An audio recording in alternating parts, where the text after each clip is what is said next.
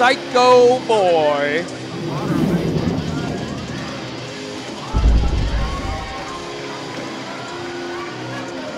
I'll admit I got this song on my workout playlist. It's a good one. There's just something about it that it gets you fired up. I understand why Fodder uses it to come to the ring.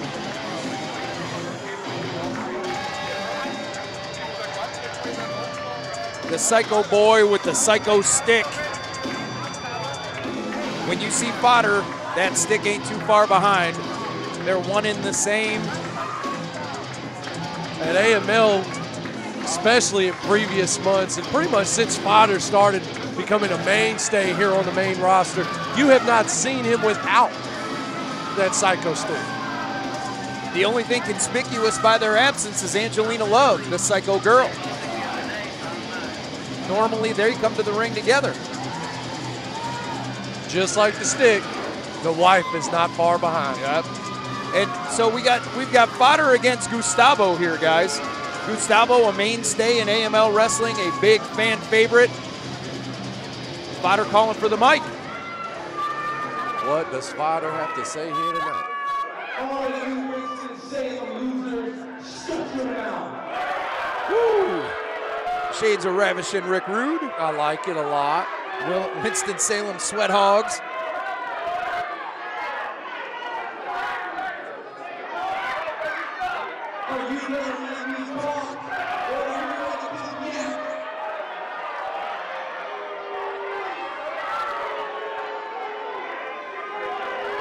Fans here, not big fans of Fodder, James. And he's not big fans of them either.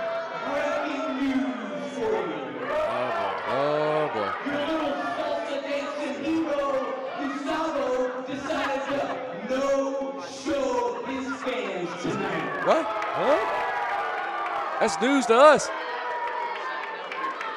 So who's your so who's the opponent? The stick? Is he gonna fight the stick? He can't just fight the stick. Shut your mouth. You right here, right here in the NC State shirt, shut your mouth. Oh man, calling people out by their wardrobe.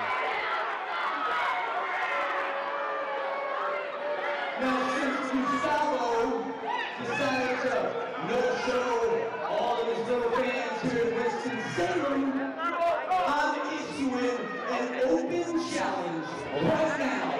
Whoever wants to come Mike, you. make a name off the Psycho Boy right now, huh? Hey, Mike. Hey. Hey, Mike Cena. There's music, James. There is music. I don't know who. That ain't my music though. It's not.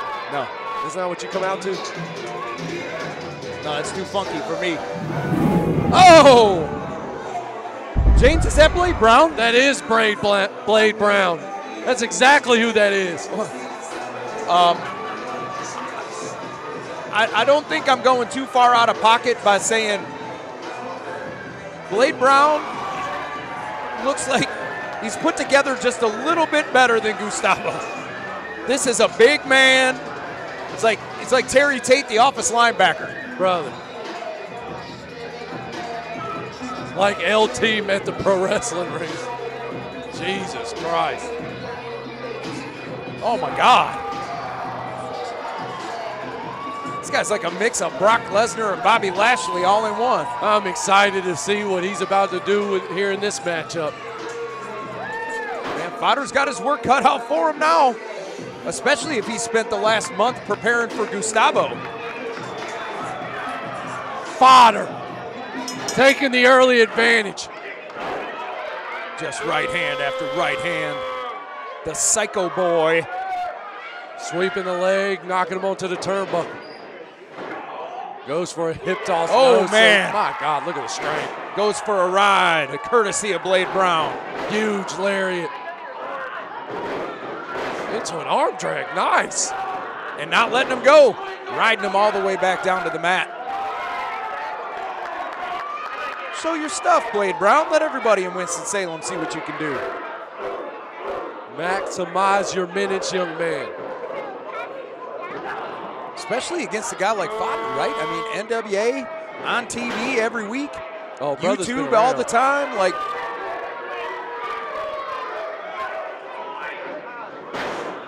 Elbow and a miss. Blade Brown takes the arm. Very smart, going for that hurt elbow.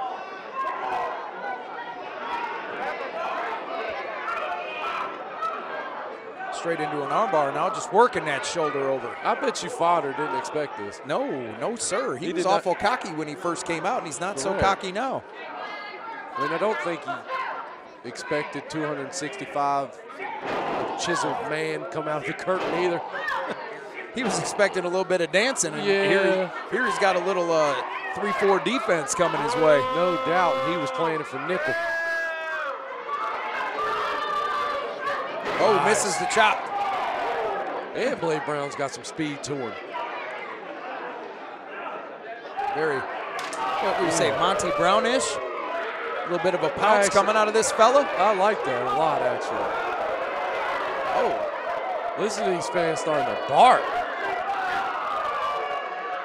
not getting everything he wants out of that chop, but it's still having a good effect on fodder. Nice whipping reversal fodder, trying to catch his breath here. Into Oh, huge crossbody. Go ahead, Blade Brown. Back elbow. Look at my this man man out here doing everything. putting in the work. Stay on him, Blade Brown. Go ahead, baby. What a treat we got here, James, right? We look forward to dancing with Gustavo every single month when he comes out, but man, Blade Brown is really showing what he can do. Blade Brown. Straight to the, you know, that's the hardest part of the a- uh, the hardest part of the That ring right there is that that apron. Listen to these fans starting to bark at Blade Brown. Guys, this is his first time here. He's won everybody over already. Right. That hard work, taking the match at the last minute, right? Open Yeah, challenge, right place, right time. not knowing what he was coming into. I don't. Maybe he had a chance to look up some YouTube footage of fodder over the last 30 seconds or so before Right. he came out, but can't can't be preparing much. Oh. oh, eats the post. Fodder once again with a nice reversal. Throwing Blade Brown into the ring post. Fodder looks aggravated. But he's got to stay on him, though. This this young man has showed us anything, he ain't, he's not here to play around. No, man, he's here to make an impression. He's here to get some wins. He wants to come on. He wants to be on the AML show every single month now. Oh, takes him straight to the top turnbuckle. But Fodder letting him know you got to go through me as he just lays a right hand right across the side of the jaw. Just taking him corner to corner now. Taking time to tell the fans to shut up. Always take the time to. I mean, come on now, give him what they paid for. Oh, Always raking do. his face. Breaking his face across the top rope. Guys, that steel cable underneath uh, rubber, that does not feel good. Fodder strings together sometimes that old school offense that really your mind isn't thinking about, or you might have even forgot that even, that was even a possibility. Using the ring in just precarious ways to damage his opponent any way that he can. You know, Fodder comes out with that psycho stick and with the psycho girl, and, and but he's a throwback. Like Com- completely. he's he's very much 1980s style, right? It's a lot of high impact, low momentum type moves. He's not flying around the ring. He's not jumping all over the place. He's putting that weight and that muscle on you, making you feel it. You're gonna know that you worked with Fodder when you're done, whether you win or lose. Oh my God, James! Huge back elbow. Coming right on the bottom of the chin.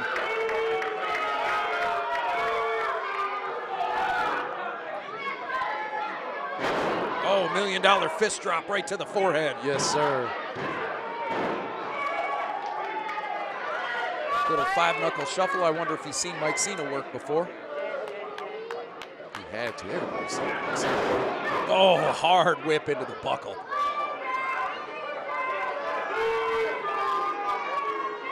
Oh, just playing with him now. My God, and another hard whip into the buckle. Working on the back and the lower. Honestly, that messes up your hips more than it does your back. Just sends a shock all the way It down does- to the tips of your toes, man. Fodder now taking to the top. You Right can- hand. You can see the confidence starting to grow on Fodder as this match starts to prolong. The more offense he strings together, the more confident and cocky he becomes. You know, what kind of gets lost when you're looking at a specimen like Blade Brown is the size of Fodder. Correct. Right? Fodder is a gigantic man. He just right now is in the ring with somebody that's bigger than him, which doesn't happen very often.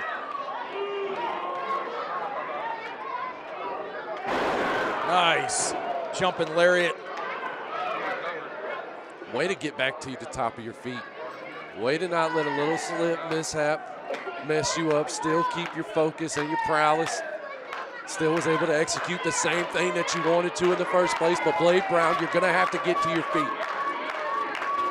As much, as much time as you take, that gives your opponent the same amount to catch his breath. Third right hand, knocking Fodder back to the ropes. Nice stop of the brakes by Blade Brown into the into, into the double axe. He's fired up now. He's got the whole crowd behind him. My God. Just hoists him up like nothing. Going for power slam oh center Oh of the ring. Cover that man. Fodder out at two.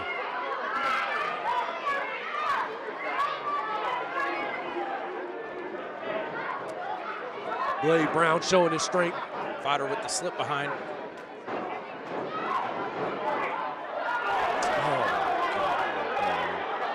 We talked about that old style and that old school prowess of Fodder. He just hit him with the oldest trick in the book. It's the Psycho Slam? Psycho Slam, James. It's over. That's all she wrote. Fodder just laying on the man. Oh, you know, oh, a little bit of extracurricular activity now. Insult to injury, right hand after right hand. Oh, God. Staring at that psycho stick. Psycho stick in hand, ready to go to work. All right, uh, no, I don't think there's any more time need to be. Wait, can we get some help out here? Oh my God! Fodder, you won the match. Like what? What's the point of insult to injury? Can we Oh, get whoa, some here we go. help? Security's coming. Security's coming. Not our Wimbledon guy. Oh, I hope he hits him right in the face.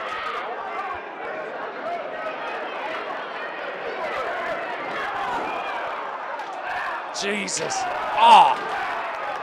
Just one Oh, after just the other. Psycho stick Just after one after psycho the other. stick.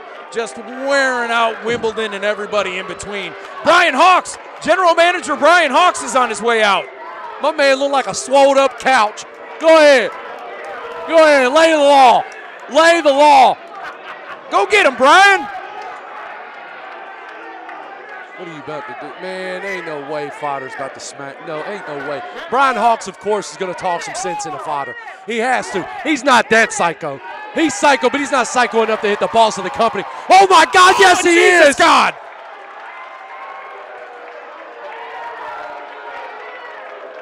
There's got to be fines and suspension. There has to be repercussions. There has. Fodder, that's enough. Absolutely ridiculous. The general manager of AML Wrestling, Brian Hawks, comes out to try to restore order, and the psycho boy takes the psycho stick right across the shoulder blades of Brian Hawks. Head trainer of AML Wrestling Training Center, Josh Gary, out now to check on Brian. What I, what I don't understand.